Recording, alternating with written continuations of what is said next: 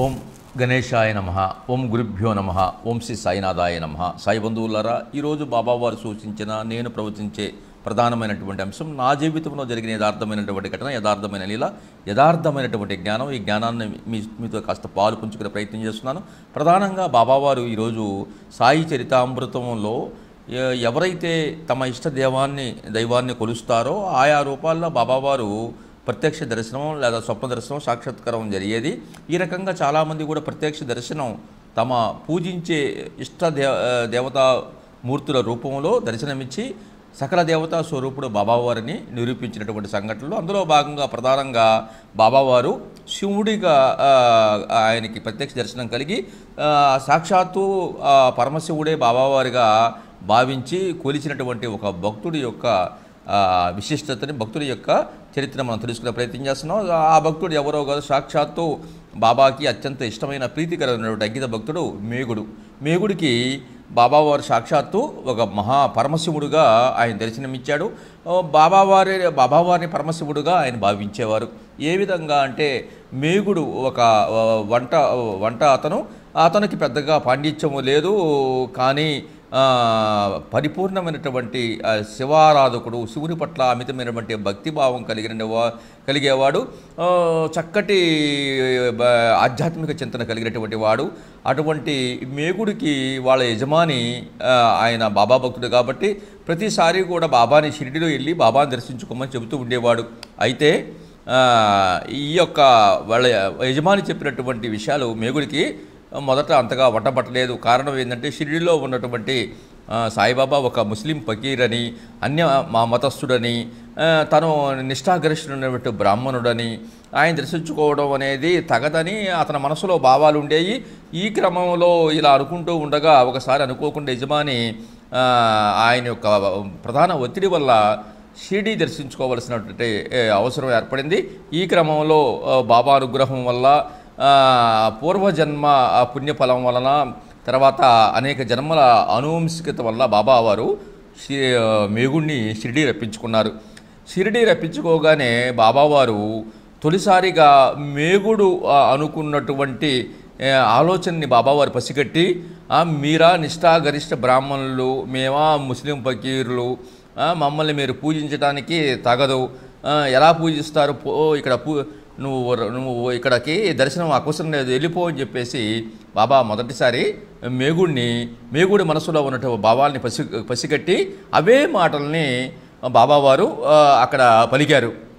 ఎప్పుడైతే మేగుడు తన ఆలోచనలన్నీ కూడా అంతరాత్మని బాబావారికి చదివేసి ఆయన సర్వాంతర్యామి ఆయన మాట్లాడుతున్న విషయాలని చెప్పేసి గ్రహించి సాక్షాత్తు బాబావారు పరమశివుడే అని అనే ఒక భావన ముద్ర ఈ మేగుడికి మనసులో కలిగింది. ఈ క్రమంలో బాబావారిని మనస్ఫూర్తిగా క్షమించమని ఏడుకోమని ఆయన తొలి దర్శనం చూ- చేతనే మేగుడు బాబా పట్ల సాక్షాత్తు ఆయన పరమశివుడు అని చెప్పేసి భావించి అతనికి ప్రణమిల్లాడు.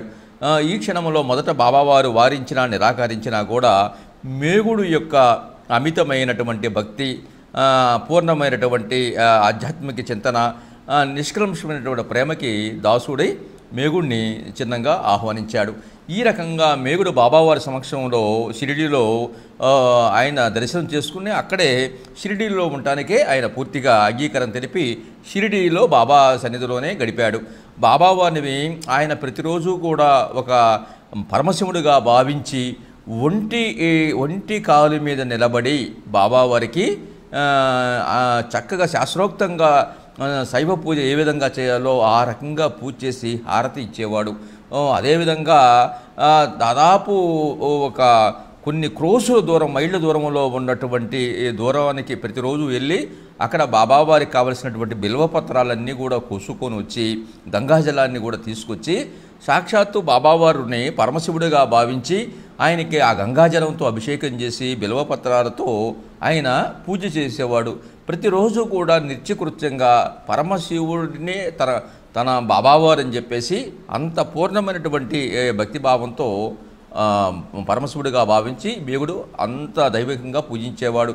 ఆ రకంగా శివుని యొక్క ప్రతిరూపమే బాబావారిగా భావించి చేస్తున్నటువంటి మేగుడికి ఒకరోజు బాబావారు అతను గదిలో నిద్రిస్తూ ఉంటే బాబావారు ప్రత్యక్షమై మేఘ మేఘ అని చెప్పేసి పిలిస్తే మేగుడు లేచి వచ్చాడు. బాబా గబక్కన కళ్ళు చూసి చూస్తే ఎదురుగా సాక్షాత్తు బాబావారు ఉన్నారు. మరి ఇక్కడ రేపు పా శివుడు వస్తున్నాడు మన నీ గదికి నువ్వు ఉండే నివాసానికి నువ్వు ఎమ్మటే అక్కడ నువ్వు త్రిశూలం నీ శివుడు పూజించే పటం దగ్గర త్రిశూలం గియ్యి త్రిశూలం లేకపోతే ఎట్లా శివుడికి త్రిశూలం ఉండాలి కదా రేపు నీ దగ్గర నీ ఇంటికి వస్తున్నాడు అని చెప్పేసి బాబావారు మేగుడికి చెబుతున్నాడు. మేగుడు ఆశ్చర్యపోయాడు. బాబా నేను తలుపులు వేసుకున్నాను గడేసుకున్నాను నువ్వెలా వచ్చావు లోపలికి? తలుపులు వేసుకున్న తలుపులు వేసుకున్నావు ఉంటే నేను తీయలేదు కదా అని చెప్పి ఆశ్చర్యాన్ని వ్యక్తం చేశాడు. అప్పుడు బాబావారు చిరునవ్వుతూ అన్నాడు మేఘ నాకు తలుపులు ద్వారాలు కిటికీలు ఏమీ అక్కర్లేదు. నేను రావాలనుకుంటే నేను సర్వాంతర్యామి ఎక్కడికైనా రాగలను. నాకేవీ అడ్డు కావు. నేను నేను వచ్చిన మాట యథార్థమే. నువ్వు చూస్తున్న దృశ్యం కూడా యథార్థమే. ఏమీ భయపడబాకు. ఇది స్వప్న దృశ్య దర్శనం కాదు. నిజంగానే వచ్చాను. నువ్వు నేను చెప్పినట్టు త్వరగా ఆ యొక్క త్రిశూలాన్ని గీయు ఎర్రటి రంగుతో నువ్వు పూజించే పటం దగ్గర త్రిశూలు గీయి అని చెప్పేసి బాబావారు శివభక్తుడైనటువంటి మేగుడికి సూచన చేశాడు. మేగుడు చాలా ఆనందపడ్డాడు. సాక్షాత్తు తను శివుణ్ణి పూజించడం అది బాబావారు అది శివలింగాన్ని గీయమని చెప్పడం ఎంతో ఆనందానికి గురై వెంటనే బాబావారి ప్రకారం తను పూజించేటువంటి పూజా మందిరం దగ్గర చిత్రపటం దగ్గర ఆ, యొక్క త్రిశూలము డమరకంతో కూడినటువంటి ఎర్రటి రంగుతో చక్కగా చిత్రీకరించాడు. చిత్రీకరించినాక మళ్ళీ సాయం మరుసటి రోజు బాబావారి దర్బారుకి వెళ్తే బాబావారు నిన్ను పిలుస్తున్నారని చెప్పేసి ఒక భక్తుని ద్వారా పిలిపించి నీకు శివుడు వచ్చాడు నీ దగ్గరికి బాబావారు నీకు శివుడు ఇవ్వ శివుణ్ణి ఇవ్వాలని చెప్పేసి పిలుస్తున్నారంటే అక్కడికి వెళ్తే మద్రాసు నుంచి రామదాసు అని చెప్పేసి ఒక అతను బాబావారికి బాబావారిని సాక్షాత్తు పరమశివుడిగా భావించి ఒక ఒక శివలింగాన్ని బాబావారికి ఇచ్చారు.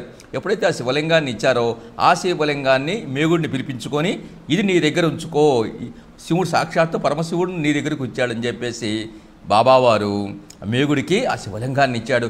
ఒక్కసారిగా మేగుడికి ఆనందానికి తర్వాత ఒక ఆనంద పుష్పాలతో కూడినటువంటి ఒక భావోద్వేగానికి గురయ్యాడు. సాక్షాత్తు తన శివభక్తుడు బాబావారిని పరమశివుడిగా భావిస్తూ పూజిస్తూ ఉన్నాడు.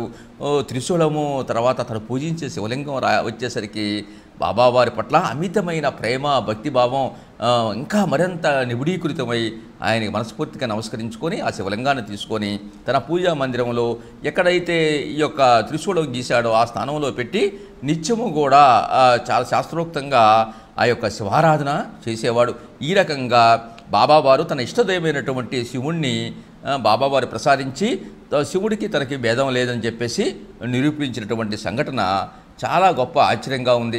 అదేవిధంగా మా మహారాష్ట్రలో మా పరమశివుడిని ఖండోబా అని చెప్పేసి భావిస్తూ ఉండేవారు.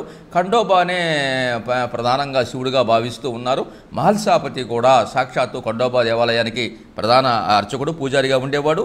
బాబావారిని తొలి దర్శనంతోనే హావో సాయి అని చెప్పేసి అంటే ఖండోబానే బాబావారిగా భావించి అతను మొదట సాయిని నామకరణం చేసి మొట్టమొదటిసారిగా బాబాని గుర్తించి బాబా సేవలో నిరంతరం ఉండి బాబాకి అంకిత భక్తుడుగా ఖండోబాగా అంటే శివుడిగా పరమశివుడిగా కొలిచిన కొలిచినటువంటి మరో అంకిత భక్తుడు మహల్సాపతి ఈ రకంగా అనేక మంది భక్తులకు పరమశివుడిని ఆరాధించే భక్తులందరికీ కూడా తను తన పరమ పరమశివుడికి బాబాకి అంటే అంటే ఎటువంటి బా భేదము లేదని చెప్పేసి సాయి అంటే ఈ ఈసా అని ఈసా అంటే సాయి అని సాయికి ఈసాకి ఈశుడికి తేడా లేదని వారి వారి యొక్క మనోప భావాల మీద వాళ్ళ అంతరంగం మీద యద్భావం తద్భవతిలాగా ఆ రకంగా దర్శనమిచ్చి వారిని సంతృప్తి చేసి ఆధ్యాత్మిక పురోగతిని సాధించడంలో వారికి మోక్షం ఇవ్వడంలో బాబా ఎంతో తపరపడేవారు తపనపడేవారు ఇటువంటి ఈ రకంగా బాబా సకల దేవ దేవతా స్వరూపుడని మనకి ఈ మేగుడి ఉదా ఉదాంతం ద్వారా మనకు అర్థమవుతుంది కాబట్టి ఈ విషయాన్ని తెలుసుకున్నటువంటి